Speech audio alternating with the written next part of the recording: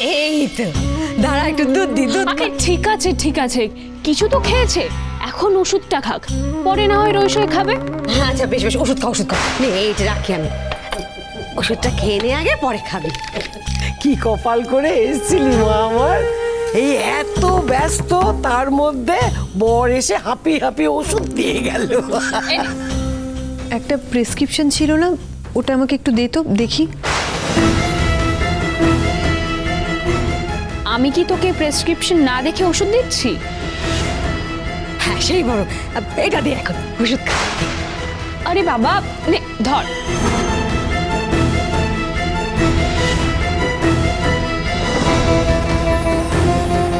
আরও একটা vitamin syrup আছে। এনে খা। খা? আরে খাবি তো। আরে দাদাই পাঠিয়েছে তোর জন্য খা বলছে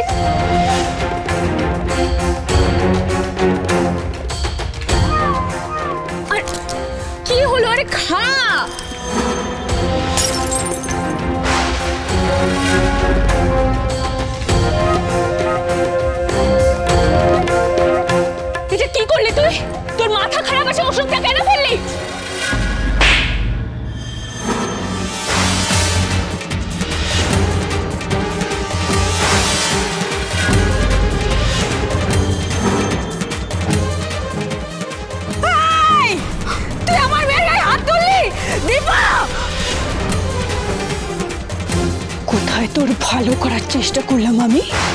আর তুই আমার গায়ে হাত তুললি? এত বড় সাহস তোর? সেটা তো আমারও কথা। তোর এত বড় সাহস হলো কি করে?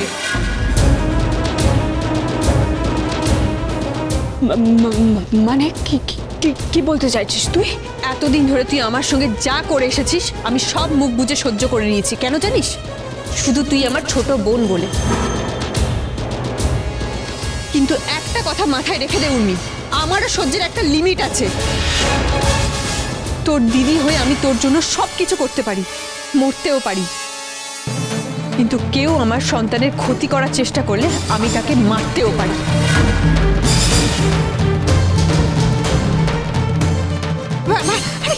কি বলছিস দীপা? মেয়েটা তোকে ওষুধ খাওয়াতে গেল, তোর কোন ক্ষতিটা করল বল দেখি। ওষুধ? ওটা ভিটামিন? না মা, ওটার মধ্যে অন্য কিছু ছিল। বাবা, অন্য কিছু ছিল মানে কি? কত বড় ডাক্তার এসেছেন দেখো। ডাক্তার নই আমি, কিন্তু ডাক্তারের ঘর তো করি। ভিটামিন কেমন হয়, কত রকমের হয়, আর তার সঙ্গে ঝাঁঝালো কিছু মেশানো থাকলে সেটা কীরকম হয়, সেটাও আমি বুঝি। আর যেটা মেশানো হয়েছে, সেটা ওই নতুন শিশির গায়ে লেগেছিল, তাই আমার বুঝতে কোনো অসুবিধা হয়নি। তোকে আগেও বলেছিলাম, উর্মি। আমার চুপ করে থাকাটাকে দুর্বলতা ভাবিস না। আর আমি বোকা নই যে যা খুশি করে তুই পার পেয়ে যাবি। তুই এখনও মনে করিস না, তোর সঙ্গে যা হচ্ছে তার জন্য আমি দায়ী? তুই বেবি হারিয়েছিস সেটা আমার জন্য? হ্যাঁ তাই। আমি চেয়েছিলাম, আমি যে কষ্টটা ভোগ করেছি, তুইও সেই কষ্টটাই ভোগ কর। তুইও ফিল কর যে নিজের মধ্যে একজনকে বড় করার পর তাকে হারাতে কেমন লাগে।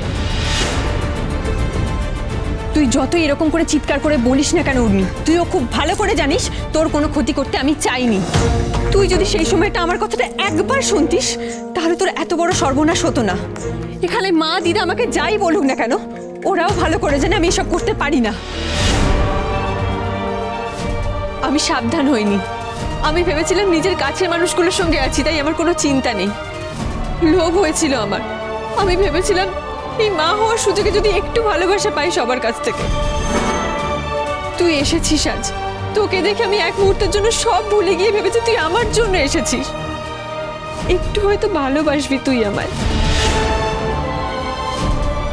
কিন্তু আমি বুঝতে পারিনি তোর আশাটা আমাকে আর আমার সন্তানকে শেষ করার জন্য।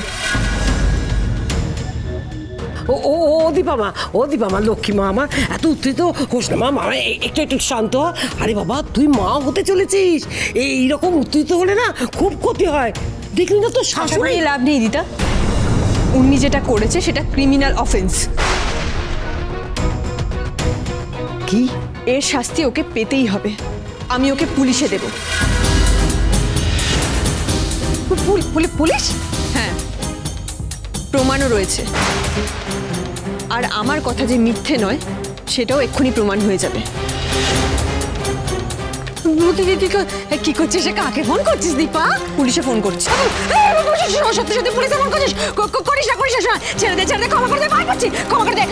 ক্ষমা করে দে ক্ষমা স্টেশন। পুলিশ স্টেশন এখানে দাঁড়িয়ে কেমন চাও দিদি দিদি দিদি, আমি এরকম প্লিজ ফোন না প্লিজ আমি তো প্লিজ এরকম প্লিজ আমি এরকম করব না। আমার আসলে প্লিজ আমি মা হতে পারিনি ভেবে আমার আমার আমার মাথা খারাপ হয়ে গেছিল প্লিজ দিদি প্লিজ আমি সরি আমি সরি আমি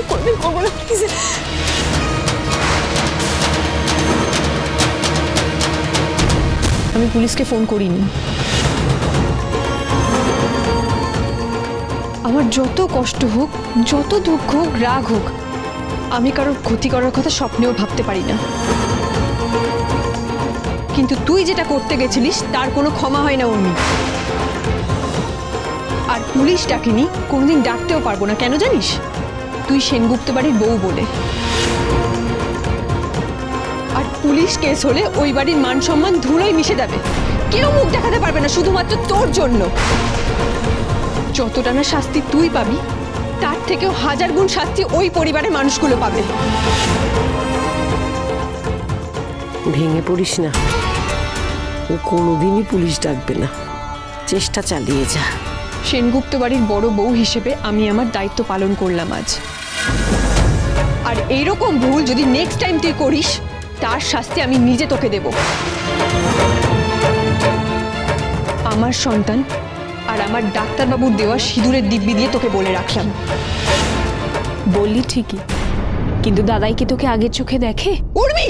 আমি জানি আমি নিজের কানে শুনেছি দাদাই তোর নাম নিয়ে কি সব বিশ্বাস ঠকানো এইসবের প্রশ্ন তুলছিল। বলছিল তুই নাকি ঠকিয়েছিস চুপ! একদম চুপ! সত্যি তো বললাম মারবি আমাকে? মার না! কিন্তু এটা মনে রাখিস যা সিঁদুরের দোহাই দিয়ে এত বড় বড় কথা বলছিস সে দুদিন পর আদৌ তোর পাশে থাকবে তো?